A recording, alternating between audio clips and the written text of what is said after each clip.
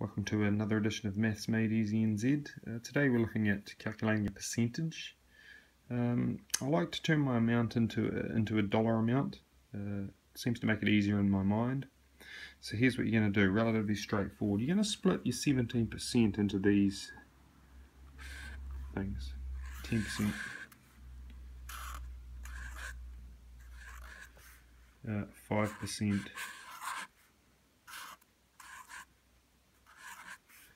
and another 2%. The reason I've done that, and you, you've probably spotted the pattern already, 10 plus 5 plus 2 is 17. So 10%, 5%, 2%, 17%. It's easier just to split it like that, I, I find. First thing you're going to do though is your 10%. Your 10% is the easiest. It's just 25 divided by 10 equals 2.5. Pretty straightforward. Uh, turn it back to your dollar amount if it's, if it's easier in your mind. $2.50. Okay. Now to find 5%, that should, you may have already spotted it, um, but 5% is half of 10%, so it's obviously going to be half of your amount you calculated over here as being 10%. So half of your five, uh, half of your 10% with 5% is half of $2.50. What's half of $2.50? Well, it's $1.25. Okay, if you're un unsure about um, how to calculate half of $2.50, um, you can uh, check out another one of my videos on subtracting. Okay, uh, now comes the more difficult part, I guess. It's your 2%. Okay, your 2% what I find is if you can find 10%, then you can find 1%. Okay?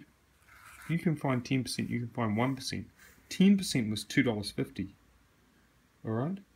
So 1% is just dividing that by another 10. And here's what you're going to get. 25 cents.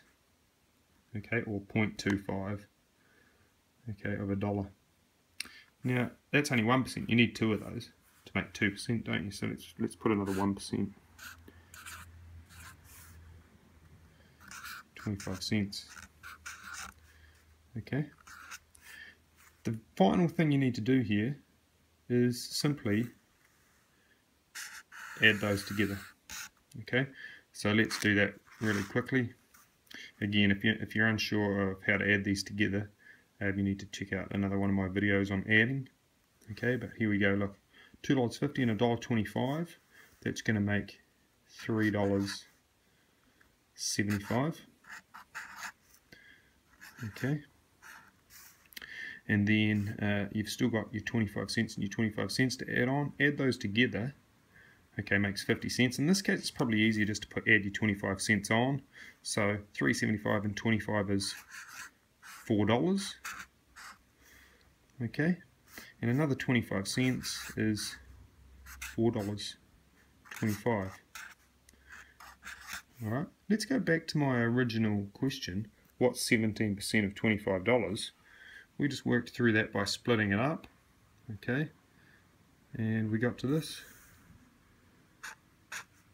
$4.25.